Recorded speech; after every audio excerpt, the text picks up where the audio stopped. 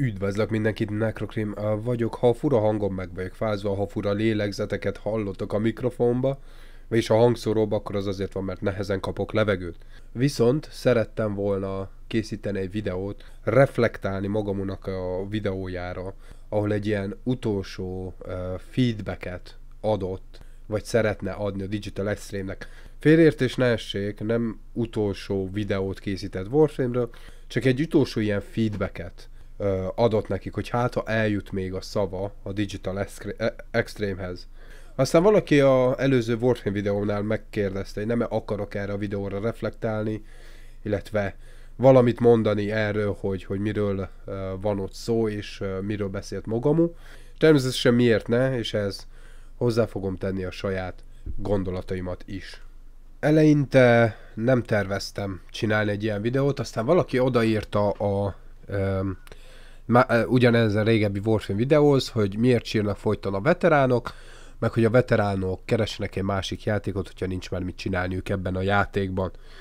És akkor uh, szeretném egy kicsit, nem azért, hogy arra a kommentre válaszoljak, csak szeretném egy kicsit letisztázni, hogy én, mint veterán Warframe-ben mit várok el a játéktól, és miért várom azt el, és hogyha sírok, mi az oka a sírásnak.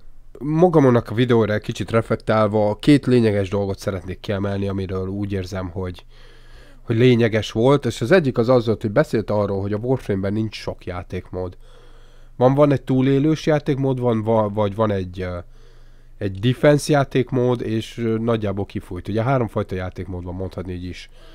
A, a Warframe-ben valójában, és annak különböző kombinációi léteznek de alapvetően ö, ugyanazt kell csinálni minden játékmódban. Emiatt a Warframe nem rendelkezik túl változatos játékmenettel. A másik pedig az, hogy ö, kiemelte, hogy veteránokra nem hallgatnak, oké, okay, viszont elfelejtik azt, hogy neki köszönhetik, a veteránoknak köszönheti a Digital Extreme, hogy a Warframe valahova eljutott. Eljutott idáig ma. Mivel, hogy annó a veteránok voltak azok, akik kifizették azt a kurva sok pénzt a Excalibur Prime-ért és a különböző pakkokért, ugye a legdrágább talán 300 dollár volt. És az adott egy akkora boostot a Warframe-nek, hogy életben tudott maradni. És ezzel én nem is azt akarom mondani, hogy hé, legyünk, legyetek hálásak a, a veteránoknak, meg azoknak a játékosoknak, akik életben tartották a játékot. Viszont a Warframe, a Digital Extreme, berakott, amiatt, hogy az emberek megbusztolták így annó azt a játékot, berakott a csetjükbe, szóval az, aki megvette a különböző pakkokat, a csetjükbe egyenes hozzáférés férésük van a development teamhez, hogy együtt fejleszék a játékot, feedbacket kapjanak. Na most látjuk, hogy hova vitt és hova jutott ez a feedback. A veteránok szava ebből a szempontból egyáltalán nincs meghallgatva miért kell legyen a veteránok szava meghallgatva, és én, mint veterán, miért szeretném, hogy eljusson a szó a Digit- Digital Extreme-hez. Nehéz videó lesz, főleg azok számára, akik mostanában kezdték a Warframe-et. Egy olyan szemszögből fogom megközelíteni ezt az egészet, amit nem biztos, hogy meg fogjátok érteni, és az a partneri szemszög egy kicsit, és hogy mi, mi az, amit kapunk, vagy éppen mi az, amit nem kapunk partnerként. Nem terveztem, hogy Warframe partner leszek, nem is nagyon akartam, és azért lettem partner, mert előbb-utóbb olyan ajánlatokat tettek, amivel úgy gondoltam, hogy a közösséget, a magyar Warframe közösséget szolgálni tudom. Volt partner lettem, és ezáltal hozzáfértem egy privát Discord szerverhez, és hozzáfértem egy csomó dologhoz, amit ingyen megkapok a játékban. Új fegyverek, új warframe új skinek, és a többi. Már ha nem Tenogen, akkor az, és a Digital Extreme csinálta, azt én megkapom, kivéve a Prime Access pakkokat. Viszont ugye abból kisorsolhatok számotokra, odaadhatom a közösségre, és úgy ezért gondoltam azt, hogy partnernek lenni kifizetődő lesz. Továbbá, hogy említettem, hogy kaptunk mostában egy privát Discord szervert, ahol kapcsolatba lehetünk a készítőkkel, javaslatokat tehetünk, és ott is vannak a szobákban, hogy adjál feedbacket és a többi. Mit kapunk a partnerségért? Valójában semmit. Valójában lefizetnek minket. Ez történik. A Digital Extreme ingyen, ingyen ad nekünk cuccokat, partnereknek, és, és az, azokkal a cuccokkal igazából semmire, az nem content megint csak, de azt várják el, hogy cserében népszerűsítsük a játékot. Partneri szerződésben benne van, hogy heti egy videót kell készítsek a Warframe-ről. Cserébe ők adják nekem mind a szép jó és csili cuccokat. Hát nem tudom hány videót láttatok tőlem, ahol mélybehatóan uh, megmutogatom azt, hogy mi, milyen ingyen dolgokat kaptam Digital Extreme-hez. Digital Extreme, Digital Extreme-től is az miért jó. Partnernek lenni a Digital Extreme-nel nem kifizetődő. Egy oldalú, egy oldalú a kapcsolat, és a valójában a feedbackeinkre nem hallgatnak. Talán egyes nagyobb videósoknak a feedbackére válaszolnak, de hogy azok játékba implementálása nagyon-nagyon-nagyon ritkán, vagy inkább soha sem kerül. Ha most már egy kicsit beleláttok, egy kicsit nagy vonalakba az, hogy nincs itt semmi olyan, ami, amire irigykedni kell igazából, mert semmi arról nem maradtok le a Warframe-ben, amit esetleg a partnerek megkapnak. Szóval YouTube-osként és veteránosként a játékban az, hogy elveszítem a partnerságot, vagy nem veszítem el a partnerságot, aznak én semmi előnyét vagy hátrányát nem fogom érezni. A hátrányát annyiban érzitek ti, mint közösség, hogy már nem fog tudni kiosztogatni platot, meg Prime Access pakkot és a többi, amit eddig megkaptam tőle. Szóval az én részemről nekem mindegy ebből a szempontból. Most, hogy ezt már látjátok, egy kicsit beszéljünk a, az új játékos, vs. veterán játékos, és nekem, és ez egy személyes vélemény, miért fontos az, hogy meghallják a szavamat, mint veterán, és miért pofázok folyton egy olyan dologról, hogy endgame. Miért fontos egy játékban az endgame? Jelen pillanatban a Warframe-ben nincsen ez az endgame, viszont az új játékos uh, experience, tapasztalat az hatalmas. Nagyon sokat kínál a játék, nagyon sok időre, de csak egy bizonyos szintig. Most is, mint régen is a Warframe-ben, nagyon viszonylagos könnyedén megszerezheted a legerősebb cuccokat. Viszont régen a Warframe-ben volt, amire használni a legerősebb cuccokat. Most a Warframe csak egy gyűjtögetős játék lett, ahol Chili Willy, nekem megvan ez, megvan ez, de semmire nem használhatod ki. Megvan a legóp modolásod, de nem tudod kihasználni. Nem tudod, hogy valójában mennyire erős. Régen, mikor felraktam egy videót a, a Warframe-be, és oda volt rakva, hogy 265 perces Survivor, pölö, akkor a videóm alatt a kérdés az az volt, hogy hogy csináltad, és milyen modolást csináltál rá, és akkor a következő videóm az arra szólt, hogy milyen modolás kell ahhoz, hogy 265 percig elmenj a Survivorbe. Most már megkérdezik a videóm alatt, minek elmenni addig, és igazuk van. Régen értelme volt elmenni addig, mert az az egy prime kulcs, mondjuk így, tower kulcs, az arra szolgált, hogy minél többet ki tudjál farmolni, ki tud aknázni annak a kulcsnak a lehetőségeit. Nem dobott túl sokat belőlük a játék, ezért mindenki kihasználta maximumig, és így, így kreálódott, így keletkezett egy endgame a Warframe-be a Survivor és a Def- Defense által. Minden bizony a Digital Extreme nem pont így tervezte, de mivel ilyen lett a rendszer, kialakult ez az endgame, kialakult a Survivor endgame, és kialakult a Defense endgame. Most már nincs értelme a sokáig elmenni. Nincs izgalom a játékba ebből szempontból, és nem éri meg. Na most én veteránként ez az, amit szeretnék visszahozni.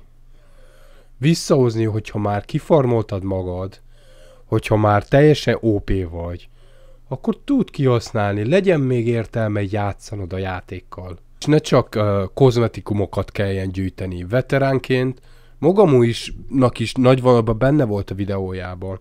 Azt akarja, hogy legyen egy olyan játékmód, amit későbbiekben ki tud használni. Mint például a Pass of Exile. Pass of Exile-nál végigmész egy küldetésen, és mikor végezsz ezzel a küldetéssel, lehetséges, hogy elég erős leszel arra, hogy a, hogy a különböző világ szinteket utána meg tud hódítani. De ott már nem feltétlenül arról szól a dolog, hogy milyen lootokat gyűjtöget, hanem arról, hogy az úton odafelé elég ügyesen bildeltél ahhoz, hogy azokat a világokat túl tud élni. És ha túlélted az első világot, esetleg kapsz valami jobb cuccot, mehetsz a következőre, a következőre és a következőre. eddig-addig addig eljutsz a végső bosszig. Ezen kívül a Pass of exile például több száz fajta buildet lehet csinálni, és mindegyik másfajta játékstílust és módot fog adni, hogy hogyan közelítsd meg a szituációkat. Ez a Warframe-ből hiányzik, most már régen benne volt, most már nincsen benne. És hogyha befejezted a gyűjtögetést, akkor te is csak gurulni fogsz az űrhajódon semmit csinálva. Ez az egyik ok, amiért veteránként szeretném, hogy visszajöjjön.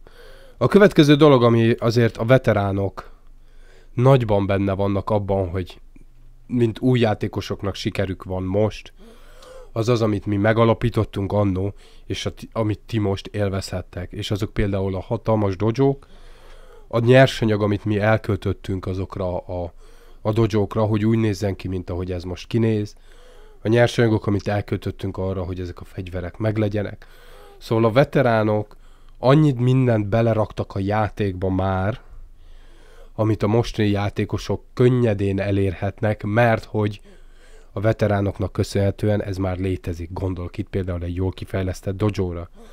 Rengetegen voltak olyanok, akik úgy írtak vissza nekem Facebookon, hogy visszamennék a klánba, mert próbáltam csinálni egy klánt, de kiderült, nagyobb falat, mint ami, amire gondoltam. Szóval ez az egyik dolog, amivel még a veteránok hozzájárultak a játék fejlődéséhez, és hogy olyan legyen a játék, és ha hiszitek, hanem ez is hozzájárul a játéknak a népszerűségéhez, mert hogy hozzáférése van az újabb játékosnak ezekhez a dolgokhoz.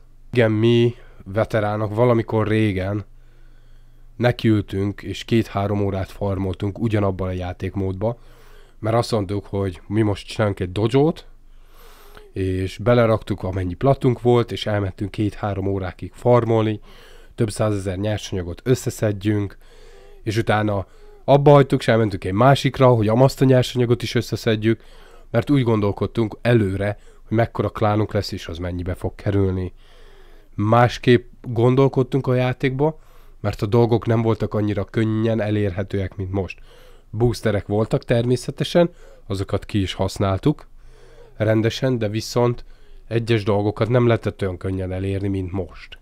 Sok energiát fektettek bele a veteránok ebbe a játékba, és én nekem sem sikerült, jó, valószínűleg előbb-utóbb igen, de nekem sem sikerült volna olyan korán megalapítani a Necro Army-t, azok az emberek nem jöttek volna és lettek volna mellette a kezdetek óta, akik már akkor veteránnak számítottak, és segítettek felhúzni ezt, ami ma a Necroarmy Magyarországon. 3000 plusz órán van most már a játékban, és nem szeretnék csak gurulgatni az űrhajómba. Ez egy jó játék, jó mechanikával, rengeteg potenciával, jó történettel, de hogyha kiátszom a történetet, és összegyűjtögetem, ami kell, onnantól nincs tovább. Nehogy azt, nehogy azt higgyétek, hogy, hogy mindenem megvan. Vannak egy-két dolgok, nincs meg. Van egy-két fegyver, amit nem húzok ki. Valószínűleg sose fogok, mert a fegyver az nem content. Tegyük fel Arcane Energize. Öt év alatt nem gyűjtöttem össze. Mert nem content. Mert, mert főleg most, valamikor az Arcane Energize-nak nagyon nagy szerepe volt. Most már hasznaveltetlen igazából, annyi energia van a játékban, mint a szemét például. Szóval még a régen fontos dolgok, ami azt mondtuk, hogy úgy legyen meg, mert ettől leszel OPB, és akkor el tudsz menni arra küldire, ahol eddig bent tudsz maradni, azok elvesztek. Most arra. Szóval veteránként kell az endgame, hogy legyen mit csinálni az újaknak is, ami után befejezték a gyűjtögetést. Mert ha nem, akkor az emberek abba fogják hagyni a játékot. És, és ennyi. Tehát ha vet, veteránként lehet, hogy gyakrabban vásárolnék, hogyha lenne értelme játszanom. Például. Új játékosok hajlamosabbak manapság többet vásárolni, mert nem tudják, hogy hogyan, milyen módokkal lehet megszerezni ingyen a dolgokat, és erre nagyon rá is fókuszált most a Digital Extreme. De hamarosan azok az új játékosok veteránokká válnak, és elhagyják a játékot, mert nincs többet mit tenniük. És elköltöttél ezreket a játékra, és miért? Belefektettél pénzt, kaptál virtuális tartalmat, tartalom, azt hozzátegyük skinek, meg stb. boosterek, Prime Access Pack, ki tudja, miket vásároltak, és a végén meg vagy csili-vili vagy gyönyörű vagy, és mit csinálsz vele? Semmit.